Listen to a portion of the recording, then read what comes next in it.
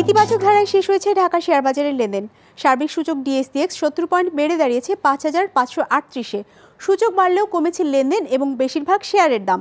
বেচা কেনা হয়েছে পাঁচশো ষাট কোটি টাকার।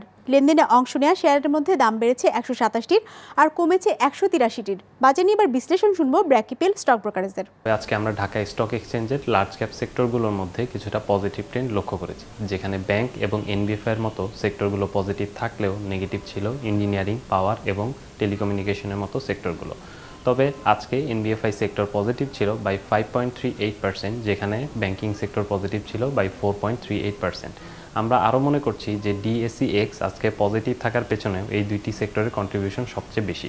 এবং আজকে ঢাকা স্টক এক্সচেঞ্জের টপ টেন গেইনারের চার্ট চার্টেও আমরা সাতটি ব্যাংক এবং এনবিএফআই এর নাম লক্ষ্য করেছি। আজকে সারা দিনে ঢাকা স্টক এক্সচেঞ্জে ট্রেড হয়েছে পাঁচশো ষাট কোটি টাকার এবং সবচেয়ে বেশি ট্রেড হওয়া শেয়ারের তালিকার শীর্ষে ছিল বিবিএস কেবলস